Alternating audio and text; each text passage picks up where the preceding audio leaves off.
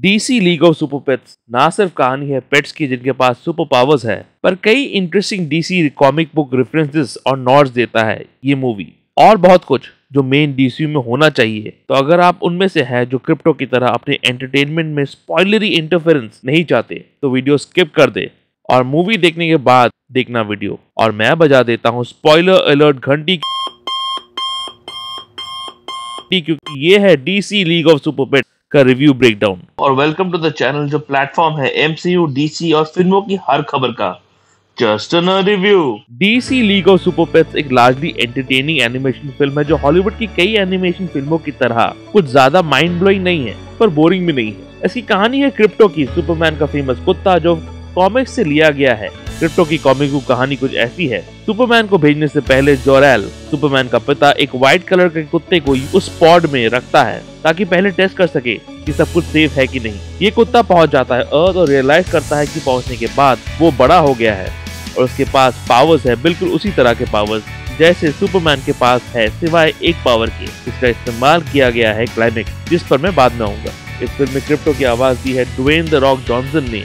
और सुपरमैन की आवाज़ दी है जॉन क्रेजेंस्की ने, जो अटकले है कि मार्वल के नए मिस्टर फैंटास्टिक होने वाले हैं। कहानी सिंपल सी है, लेक्स लूथर आवाज़ मार्क मैरन की। एक ऑरेंज कलर का क्रिप्टो नाइट इजाद किया है, जिससे उसे तो पावर्स नहीं मिलते, पर पेट्स यानी एनिमल्स को मिल जाते लेक्स जब एक्सपेरिमेंट कर रहा होता है, तब फ़िल्म में जस्टिस लीग की एंट्री होती है और शायद डीसीयू वाले इस फ़िल्म से सीख सकते हैं कि जस्टिस लीग की एंट्री कैसी होनी चाहिए। इस जस्टिस लीग की टीम में शामिल है। बैटमैन आवाज़ केनी रीस की वंडर वुमन आवाज़ शीहल के विलन के किरदार निभाने वाली जमीला जमील की फ्लैश एक्ोमैन ग्रीन लैंटन और साइबॉग उस ऑरेंज क्रिप्टोनाइट का एक अंश गिर जाता है एक पेट हाउस में, जहाँ हमारे बाकी के किरदारों को पावर्स मिलते हैं इंक्लूडिंग द विलन लुल्लू एक गिनिपिक जो लेक्स के पेट्स में से एक था, जिस पर वो एक्सपेरिमेंट करता था। आवाज़ केट मैकिनन पीबी एक पिग जिसे पावर्स मिलते हैं कि वो अपने शरीर को छोटा बड़ा कर पाएगी। आवाज़ वेनेसा बायर एक बॉक्सर ब्रीड का कुत्ता जिसे आवाज़ दी है केविन हार्ट ने और बाद में वो बन जाता है बैटमैन का कुत्ता बैटहाउंड ये किरदार भी कॉमिक्स से ही दिया गया है क्रिप्टो की कॉमिक बुक सक्सेस के बाद। एज द बैकहाउंड को इंट्रोड्यूस किया गया था कॉमिक्स में तो ये किरदार है। एज की बॉडी को चोट नहीं लगती यानी वो इम्पेनेट्रेबल है। मार्टिन मैक्सनर्टल एक टेरिफिक बैडजेट एक रेड ईयर स्लाइडर टर्टल है कॉमिक्स में और फ्लैश का पेट है आवाज़ नताशा लियोन उसके पावर्स है सुपर स्पीड चिप एक एक्सक्यूरल है जो अपने हाथों से इलेक्ट्रिसिटी पैदा कर सकता है और पेट है वो ग्रीन लैंडन की कॉमिक में।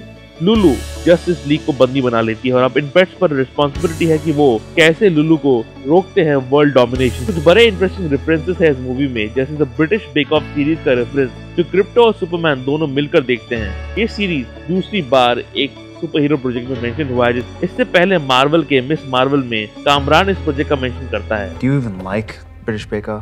जब लुलू सुपरमैन को किडनैप करती है और लुइस लेन जस्टिस लीग का नंबर डायल करती है तब मल्टीवर्सल गॉड में अलग अलग अर्थ का रेफरेंस होता है। इनिशियली क्रिप्टो तो सुपरमैन को लेकर बहुत ऑब्सेस दिखाया गया है। इसीलिए वो किसी को पसंद नहीं करता जो सुपरमैन के करीब हो।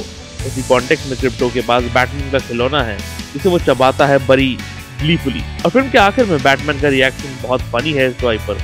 Better be a licensed toy or I will freak out. साथ ही एज भी फ़िल्म के आखिर में सुपरमैन का टॉय खरीदता है। चबाने के लिए, जो बहुत है। मैं ये भी कहूँगा कि किनी रीव का बैटमैन इंटरप्रिटेशन परफेक्ट है इस फ़िल्म में, और वो सीन स्टीलर है। बिल्कुल उसी तरह, जैसे सुपरमैन की फ़िल्मों में उसके पिता कोरेल एक प्रोजेक्शन में सुपरमैन से बात करते हैं। इस फ़िल्म में क्रिप्टो के पिता डॉगेल उसी तरह की प्रोजेक्शन में क्रिप्टो से बात करते हैं। आवाज़ कीथ डेविड की। लेक्स लूदर का फ़ेमस कवच भी दिखता है इस फ़िल्म में, और वंडर वुमन का फ़ेमस इनविजिबल जेट भी। इसके अलावा सुपरमैन के घर स्मॉलविल पर भी नॉट है। द डेली प्लेनेट जहाँ सुपरमैन काम करता है, उसके दर्शन होते हैं और हॉल ऑफ़ जस्टिस भी दिखता है। स्ट्राइकर आइलैंड जिसका कनेक्शन गौतम और डूम्सडे के साथ है, वही लूथर को रखा गया है इस फ़िल्म में। एक सीन के दौरान गारफिल्ड जो कि फ़ेमस बिल्ली है, जिसके कार्टून और कॉमिक्स है, उसका एक स्टफ़ टॉय दिखता है। टर्टल वाले एक सीन में जब मर्टन अपने सुपर स्पीड का इस्तेमाल करती है, वो सीन आपको एक्समैन के क्विक सिल्वर के इस सीन की याद दिला देगी। रेफरेंसेस है वंडर वुमन विलन चीता पर। एक्मन विलन ईल पर मिस्टर फैंटास्टिक पर और पॉ पेट्रोल पर भी जो एक कार्टून सीरीज़ है जहाँ कुत्ते लोगों को बचाते हैं। बैटमैन पूरे बैट फैमिली का रेफरेंस देता है इंक्लूडिंग मॉर्गन फ्रीमैन जिन्होंने नोलैंड के बैटमैन ट्रिलॉजी में लूशियस फॉक्स का रोल किया था।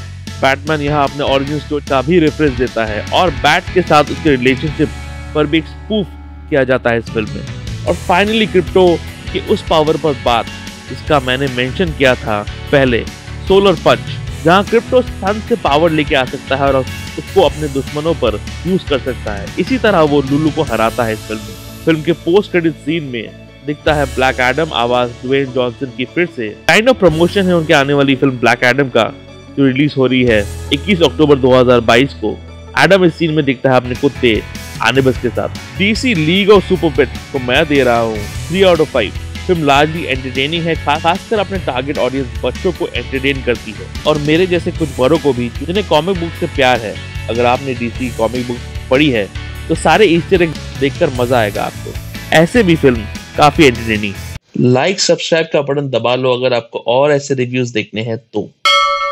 कुछ रीसेंट वीडियोस आखिर में डाल दिए हैं चेकआउट ज़रूर कीजिएगा। और ऐसे रिव्यूज़ ब्रेकडाउन के लिए देखते रहिए। Just review